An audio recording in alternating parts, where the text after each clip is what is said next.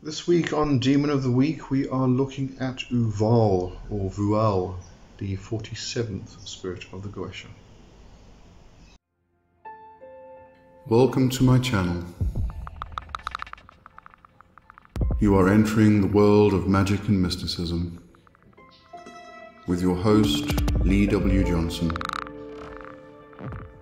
Keep the lights on and help improve the channel by becoming a supporter for just $2.99 per month. Hit the join button. Okay, Uvall, also named Vual. Um, correspondences are dates the is July 2nd to 11th, direction north, tarot of the Three of Cups, planet Venus, metal copper, element water, color green, plant myrrh, incense is sandalwood, zodiac is 10 to 20 degrees Cancer, and the enn is As Ana Nonai Onka Uvall. Uh, the Goetia uh, appears in the form of a mighty dromedary at the first, but after a while, at the command of the exorcist, he putteth on human shape and speaketh the Egyptian tongue, but not perfectly. Uh, correct. Dromedary is a camel. Um, actually, in the Goetia ritual, specifically states an Arabian camel. Um, not sure why he would speak the Egyptian tongue um, if it's not perfect and we don't understand the Egyptian tongue. I suppose some uh, people who worked with the spirits back in the day were Egyptian. Uh, they did come from the ancient Middle East, so who knows. Um, to his office uh, is to procure the love of woman and to tell things past, present, and to come. He also procureth friendship between friends and foes. Um, Connolly says, wearing the sigil of Uvall when going to a party or social gathering will draw people to you. Um, now, there wasn't anything from Jahannam in, in regards to Uvall. Um, so what I did, I actually looked at the at Corwin Hargrove's Goetia path looking again to see if there's any extra things. Um, what he mentions is four things. There's restore trust, um, improve orgasm.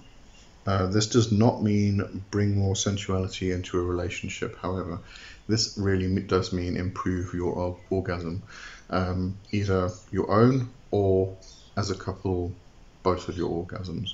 So there's that aspect. Um, and then fascinate strangers. Uh, will be fascinated in a way that brings sexual arousal. So if we relate that back to um, what Connolly states about um,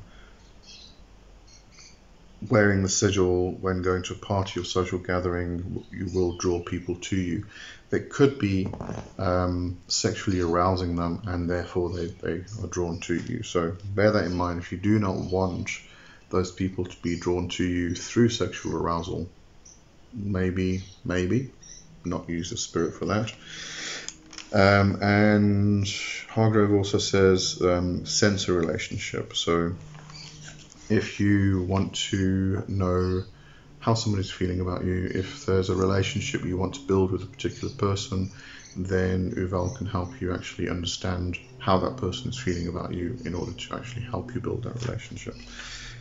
Um, if we go on to the Goetia ritual, uh, it mentions the symbolism of Arabian camel being Luna, which is the association with water. And it says moon and water together represent unity of the self. Um, then, in quotes, this is quoted from J.C. Cooper's An Illustrated Encyclopedia of Traditional Symbols. One moon appears reflected in all waters, wherein all moons from the one moon derive. Um, the Goetia ritual also says, speaks in a deep guttural voice.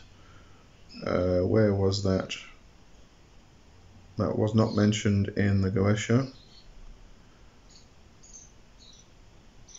So I'm not sure where they got that from. And I say that because personally, I don't think they've actually worked with these spirits very much. Um, I think it's just a conglomeration of knowledge taken as in um, they are basically armchair magicians. Um, so it says speaks in a deep guttural voice, signifying an infernal status. Uvall steadies, steadies our step, giving us a firm footing as we journey into the night, where nature breeds perverse, monstrous things worse than fables have told or fear conceived. God, this is so dramatic. Uh, the demon reveals the dark hours of our being and prepares the mind to curl comfortably into them, to find a life ready to shed its fates over and over again, as a snake sheds its skin for its survival, growth, and vitality. Vual releases the potentialities of indeterminacy while he tears apart the artificial threads of constricting human destinies. Oh, so if you want if if you want the dramatic approach to the Goetia, definitely have a look at the Goetia ritual. Uh, it's got all the drama you need. Um, okay. Anyway, so that's Uvall. um, I would say Uvall is really his office really is to um, make you more attractive to friends, um, but it could be in a sexual, sexually aroused aspect.